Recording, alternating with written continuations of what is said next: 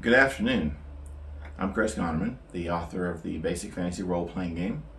Uh, this is my cat Coal, uh, C O A L. Um, and I'm going to talk to you a little bit today about what I've talked about in my previous video.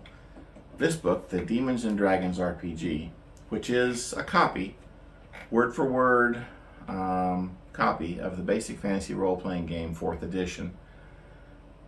I have acquired a physical copy. I ordered it on Amazon just before it was withdrawn from there, and I really didn't think they would ship it to me, but I got one. Um, this is the work of Bishop Madison Brooks. Um, I think Bishop is a self assigned title, um, but I am going to use the term uh, probably throughout my discussion. Uh, it's just become a habit over the last couple of days since I learned this person exists. Demons and Dragons, um, copyright 2023, Gothic Church, with my copyright removed from it. Um, the dedication removed and or changed rather, the copyright removed and replaced with the 2023 Gothic Church copyright, and the title changed to Demons and Dragons rather than Basic Fantasy. As an aside, since there are no demons in the original Basic Fantasy, and this is a word for word copy, um, there are no demons in this book. I, I think that's a little funny. Basically, the author took, the author, I'll air quote that, Madison Brooks took um, my book, uh, the work of myself and dozens of people over almost 20 years, uh, and filed off the serial numbers, put uh, their own names on it, and replaced the artwork, mostly legally, um, the artwork in the Basic Fantasy RPG Core Rules, and all of our books, in fact, is licensed to me personally. Uh, the intent of that being that anybody who legally produces a game based on Basic Fantasy, where all of the text is under an open license, under a Creative Commons Attribution Share Alike license, anyone who produces a book that is that copies my rules, my words, our game, uh, that makes a copy of it, legally cannot use any of the artwork except for a small handful of pieces that are public domain and a small number of pieces that are required for the use of the book. A couple of maps, um, the character sheet for Darien that is in the character creation section are part of that. They're covered by the license the same as the text. But the actual artwork in the book, the decorative artwork, including the cover art, is um, licensed to me personally for use with my projects. In other words, if, as long as I'm the publisher of them, it's fine, but no one else can legally use them. Um, Madison Brooks carefully removed most of it. There were some items that they did not realize were copyright protected, and briefly after we made contact uh, a couple days ago when this all started, uh, briefly um, there were PDF versions available of the Demons and Dragons book with the copyrights fixed, although I never saw them, so I'm just trusting that they actually were fixed. Uh, and with the artwork, the extra artwork that, had, uh, that was still copyrighted and removed. At least what I was able to identify. I have not found any other than the dice images on page two, which were the copyrighted artwork that I no noticed.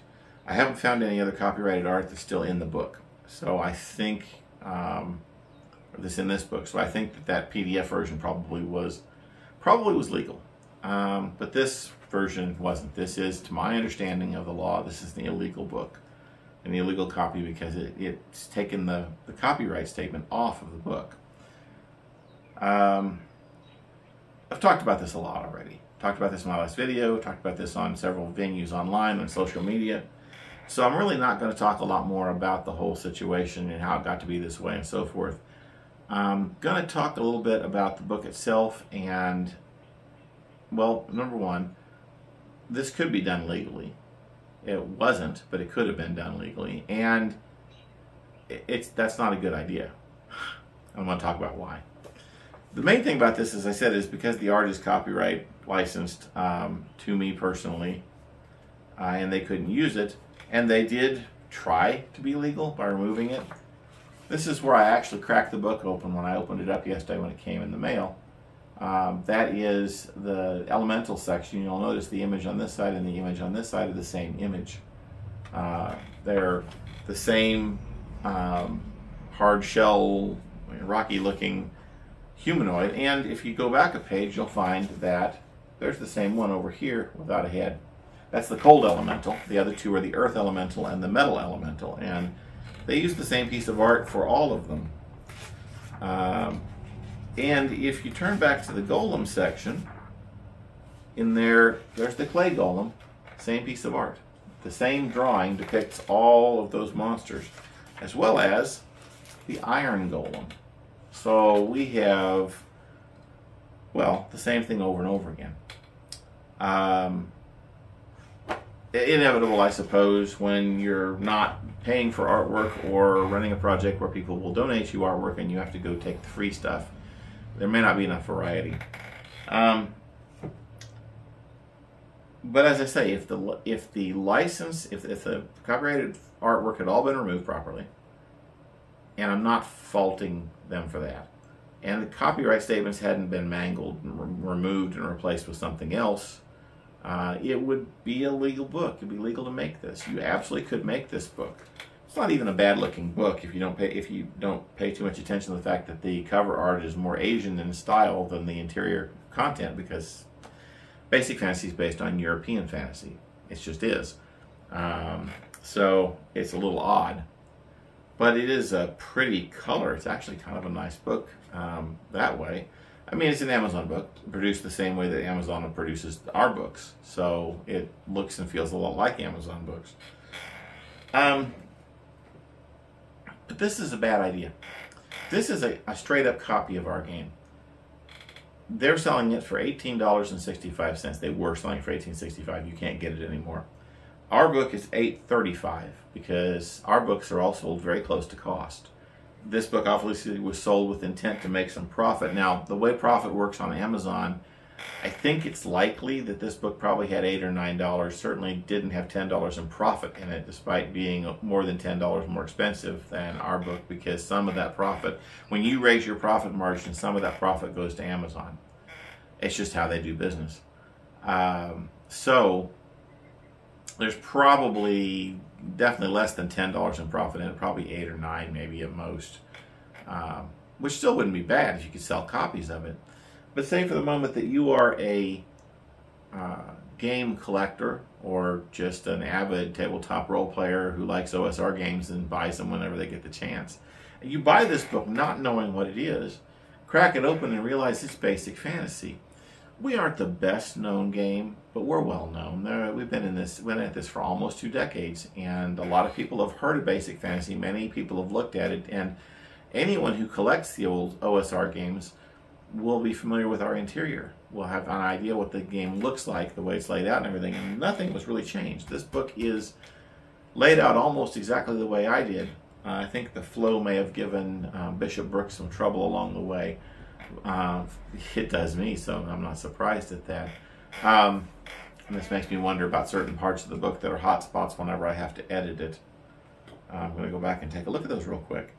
Um, but, I mean, it could have been done legally.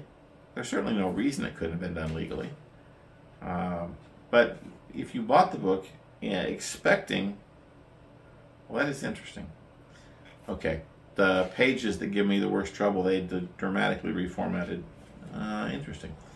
Um, if you bought this book and discovered it was just basic fantasy and you paid more than $10 more than basic fantasy and really didn't get a better book, certainly, um, I would argue that it is not quite as nice. I think our artwork is overall better than what's in this book, but even if it was nice looking art or a bunch of slick um, soulless AI art, um, you still paid more money for the same game. And you didn't get the authentic version, and you didn't get a version that had any substantial improvements. They, they didn't do anything. I say improvements in a sense, not that I think the game can be improved, because of course Basic Fantasy Role Playing Game is perfect. I must say that it's my child. I must say that about it. But um, but it, it, what you might see as improvements, added things that you might like, even that wasn't done here. But even if it was done, it would have to be substantial. You'd have to make a substantially different game. Um, people have talked about making a sci-fi version of Basic Fantasy. If somebody came along and did something like that outside of the project, away from our group, and just took the game and mangled it around and made it into a science fiction game, and did it legally, removing the artwork, which they'd probably want to do anyway, and um, keeping the uh, copyright statements and simply adding their own on top, they'd be fine. They could do that, and people might buy it and might like it. They might like having a game that's mechanically similar to Basic Fantasy, but it's set in a sci-fi universe. Uh, I'm not going to say that that's a bad idea.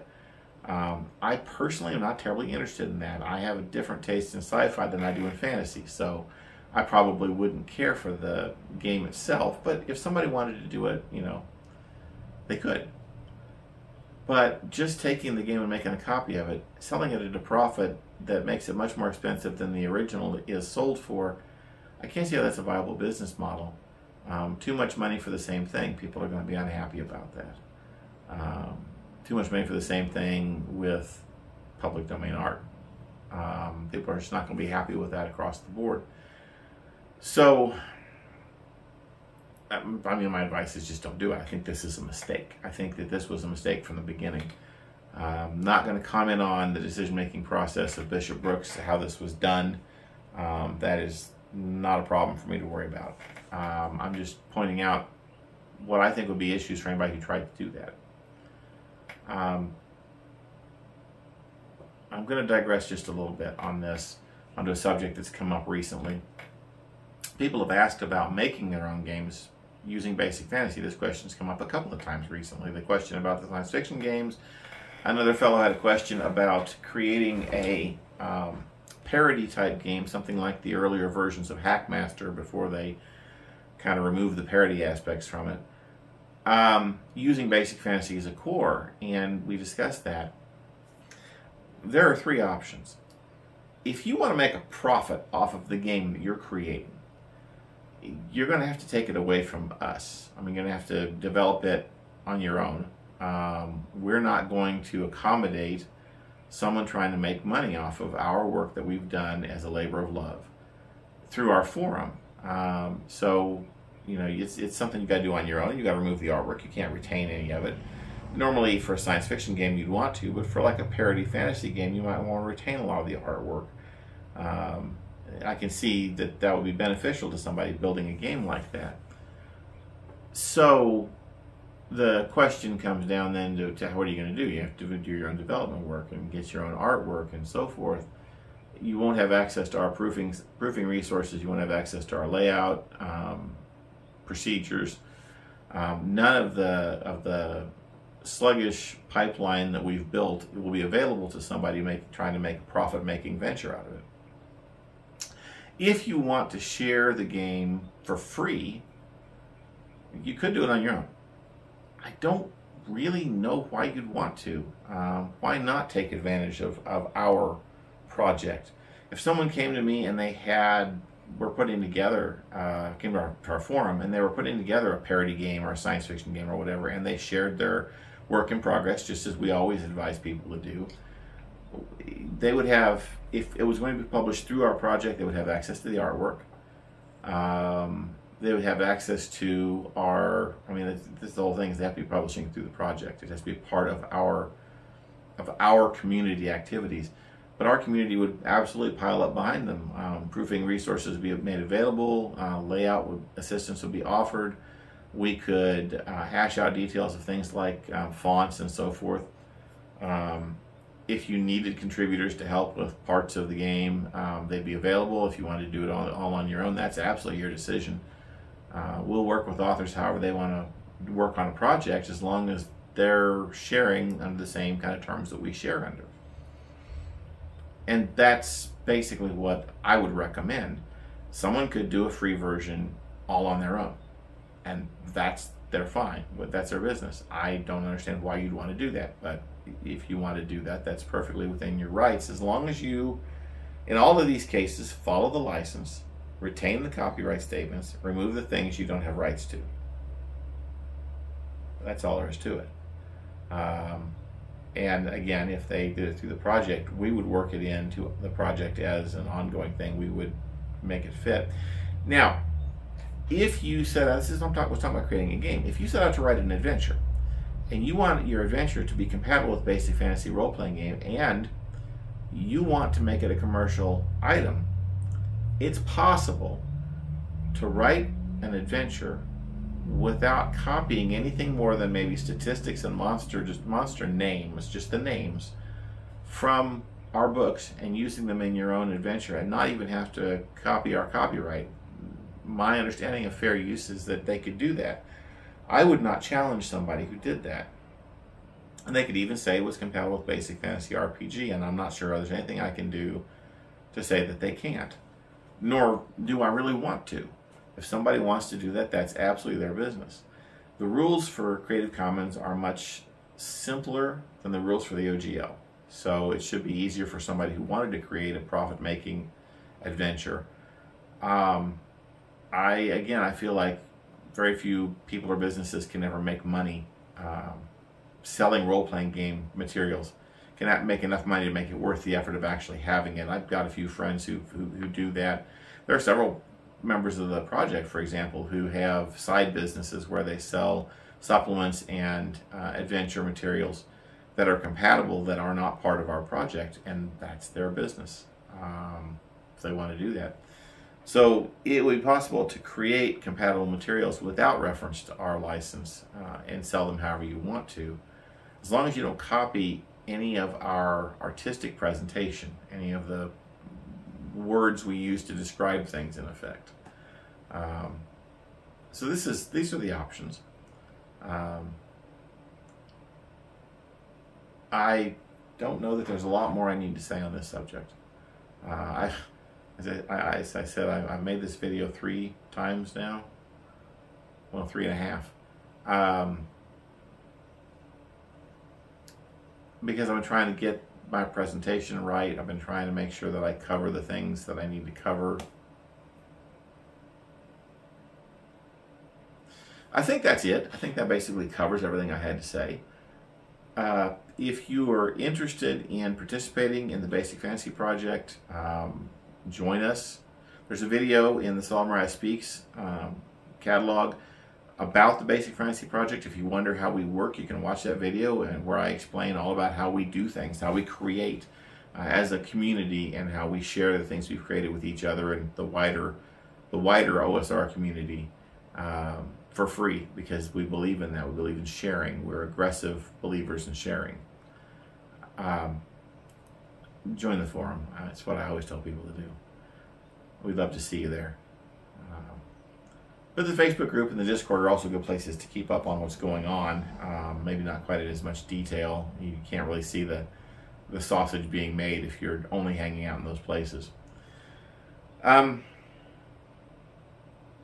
for those who, again, for those who were involved in the whole tracking down the Gothic Church and Madison Brooks situation over the weekend, a reminder: we're done. We don't need to do any more. I do, will mention, and I've, got, I've posted this on social media, there is another author named Madison Brooks who is not the bishop, who is not the person who created this book or the other books in the series, um, copying repeatedly from us and from other game designers. The other Madison Brooks is not involved in this, and unfortunately, Goodreads has mixed her up with the bishop and is showing her purple butterfly notebook in the same list with the Satanic Tome. Um, I'm hopeful that somebody gets that sorted out soon. Uh, I've, I've, heard from uh, uh, someone with librarian privileges on Goodreads who said that they might be able to fix it, so I'm hopeful that that will happen. In any event, um, for those of you who are involved in that whole activity, we're done. It's, it's taken care of. Everything is taken care of. Um, I know there's still a site out there where people can, can buy the PDF it's not worth pursuing at this point. As long as everyone understands that it's not the legit game, it's not something that we're doing, it's not something that we've approved. Quite the opposite. Uh, I think that's all we needed to do. Um, hopefully, the next video I do will actually have some interesting, forward thinking, forward looking content um, in it. Uh, some advice or something useful. Um, but I felt like I needed to kind of talk about this a little bit. Uh, there's a lot of questions that have come up just recently that are all related to this situation, so I felt like I could cover them all in one video. Thank you for your time, uh, and have a nice week.